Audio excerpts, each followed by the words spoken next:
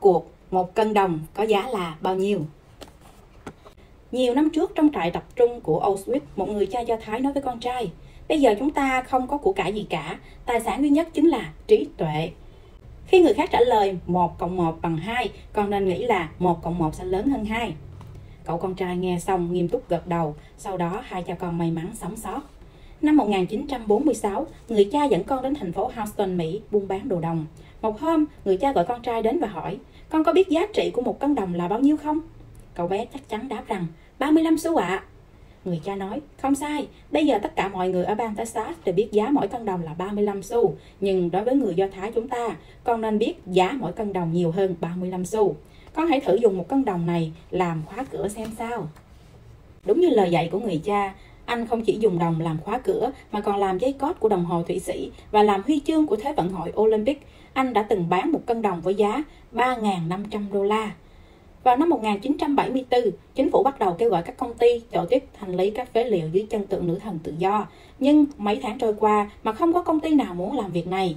Sau khi nghe tin tức trên, anh lập tức đến ký hợp đồng với chính phủ và lập tức bắt tay vào làm việc. Anh đem nung chảy những vật liệu đồng còn dư thừa và đúc thành một bức tượng nữ thần tự do loại nhỏ. Bùn đất và gỗ mục, anh chế biến gia công, làm thành chân đế của bức tượng. Chì và nhôm, anh làm thành những chiếc chìa khóa và bán rộng rãi trên thị trường. Thậm chí những bụi bẩn trên tượng nữ thần, anh cũng sai người cạo xuống và bán cho những người trồng hoa.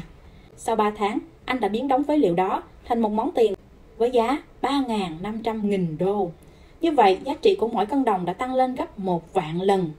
Bây giờ, anh không còn bị gọi là cậu bé ngốc nghếch năm nào nữa, mà đã trở thành chủ tịch hội đồng quản trị của công ty Ensicon. Giá trị của một cân đồng rốt cuộc là bao nhiêu? Qua ví dụ trên, chúng ta có thể hiểu được rằng giá trị thực sự không nằm ở bản thân sự vật, mà nằm ở việc người đó biết vận dụng đầu óc trí tuệ để sử dụng sự vật đó như thế nào. Người Do Thái đã giáo dục con cái họ từ nhỏ rằng tài sản đích thực chính là trí tuệ. Chỉ có trí tuệ mới không bị ai tranh giành. Đó là quan niệm giáo dục sáng suốt, cũng được kiểm chứng qua ví dụ trên. Khi tất cả mọi người cho rằng 1 cộng 1 bằng 2 thì bạn nên kiên trì quan điểm của mình là 1 cộng 1 lớn hơn 2. Trong xã hội công nghiệp hóa, người Do Thái luôn coi trọng việc giáo dục con cái sự thông minh, nhạy bén. Có thể có người coi thường sự thông minh hoặc không tán thành sự thông minh đó, nhưng thực ra, sự thông minh nhạy bén của người Do Thái bắt nguồn từ thái độ của họ. Người Do Thái không coi sự thông minh nhạy bén là mục đích, mà là điều cần thiết để áp dụng trong cuộc sống. Ở dân tộc Do Thái, chưa có ai dùng sự thông minh của mình khuyên người khác làm những việc tổn hại đến lợi ích của họ và có lợi cho mình. Họ chỉ kiếm tiền một cách thông minh, tích lũy tài sản mà không vi phạm đạo đức và pháp luật. Dưới đây chúng ta hãy cùng xem cách giáo dục thông minh của người Do Thái biểu hiện cụ thể ở những phương diện nào nhé. Thứ nhất, thông minh đường đường chính chính. Thương nhân Do Thái ngày càng trở nên thông minh, tháo vát. Ngoài kiến thức uyên bác và sự va vấp ngoài xã hội, có một điều hết sức quan trọng đó là thái độ của họ đối với sự thông minh, tháo vát. Không thể phủ nhận rằng, ở mọi quốc gia, dân tộc đều không thể thiếu những người thông minh, nhưng thái độ của họ với sự thông minh là khác nhau.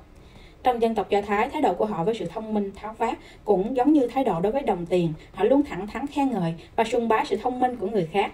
Từ đó bản thân họ cũng trở nên thông minh. Trong gia đình, cha mẹ thường xuyên cổ vũ con cái đặt câu hỏi và tích cực suy nghĩ nhằm làm phong phú kiến thức rèn luyện khả năng xử lý vấn đề cho trẻ.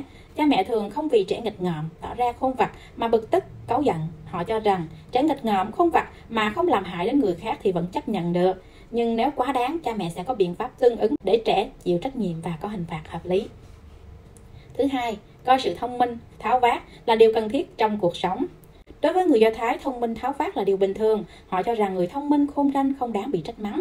Có thể sử dụng sự thông minh của mình một cách hiệu quả, đó mới là người có trí tệ thật sự. Nếu một người vô cùng thông minh, nhưng không biết cách sử dụng, thì sự thông minh đó cũng vô giá trị.